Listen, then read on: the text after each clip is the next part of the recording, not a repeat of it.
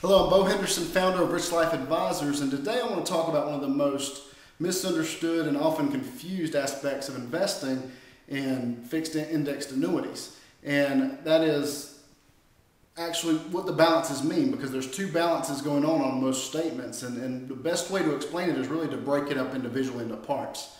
So, say on one side, what we have going on is you put an investment in a fixed index annuity, and what's happening is every contract year, you're either being credited a percentage of the investment in the index you're participating in, or if the market's down or the index is down, you're going to get some minimum interest rate, which is going to be more like a CD rate.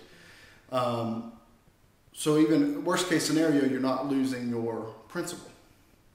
So that's that's what's going on with the actual money, the actual balance. And at the end of a surrender period, you'll be able to, you could pull out that money and invest it elsewhere, or you could turn on an income guarantee. And the income guarantee is the separate aspect of this. And, and really what's going on there is usually there's riders that you can opt into. And an example would be say, you put your money in, there's a rider that's going to go up 6% a year until you turn, turn on your investment, and then they'll guarantee you a certain percentage of income for life based on that number with that 6% a year increase. Now, if you were to pull the money out, you're going to get the amount that's in that first bucket.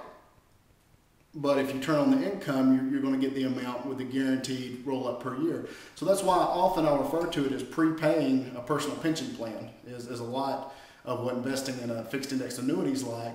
And it's a great fit for a lot of people for that fixed income money that they need to depend on for the rest of their life. So I hope that helps. You really have two things going on. You have your actual balance, and then you have your income guarantee balance. And more often than not, when I meet with a client, they don't understand the difference between the two. So something very, very important to be clear on. I hope that helps. Please click and, and get our free report about decisions you need to make to have the best chance to have a successful retirement. And I will talk to you soon.